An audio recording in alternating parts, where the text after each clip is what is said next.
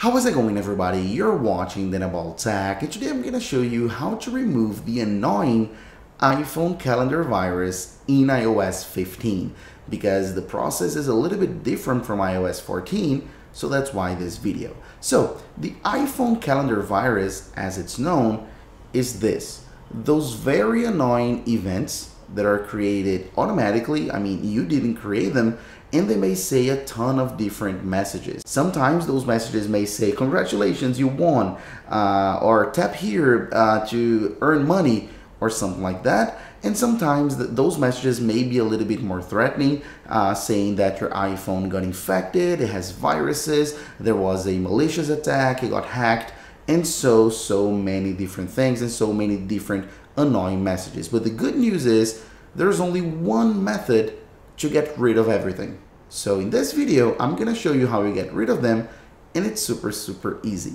So let's get started. So first things first, the iPhone calendar virus is not an actual virus. So you can relax because your iPhone didn't get hacked.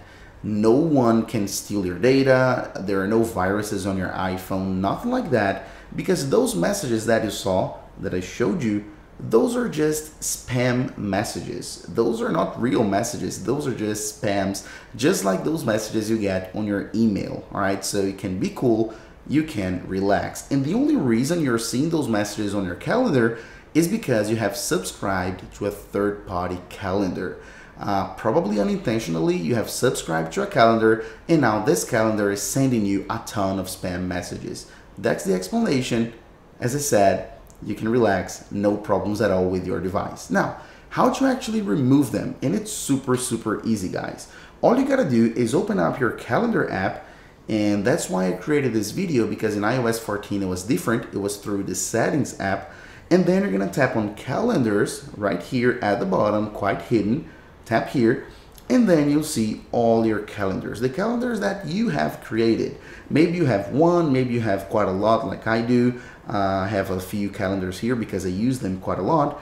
And then at the bottom, after your own calendars, you'll see the subscribed calendars. Maybe it'll be just one, maybe two, maybe a ton. But you'll definitely see here because it'll say subscribed as you can see right there. Please keep in mind that on mine is like NFL schedule and Formula One because I have created those ones manually to show you in this video. But on yours, it may be a huge name, like a crazy name, it may be a link, it may be a ton of crazy characters, it doesn't matter because all you gotta do is delete those subscribed ones. And to delete them, to remove them completely, it's super easy because all you gotta do is tap on the little I, as you guys can see, and then unsubscribe and then unsubscribe once again and that's done. I'm gonna do it for the Formula One as well. I unsubscribe, unsubscribe, and then you're done. Now I just have my calendars that I have manually created that I want them to be here, so that's fine.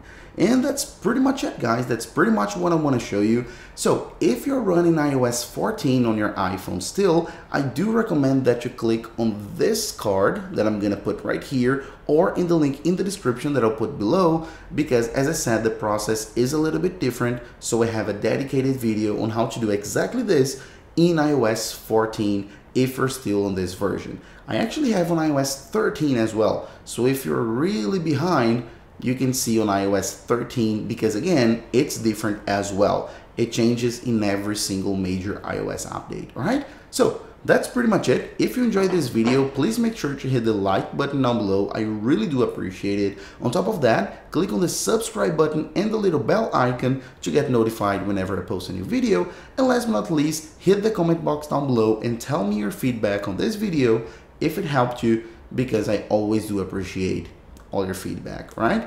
So that's pretty much it. And I'll see you on my next video as usual. Bye bye.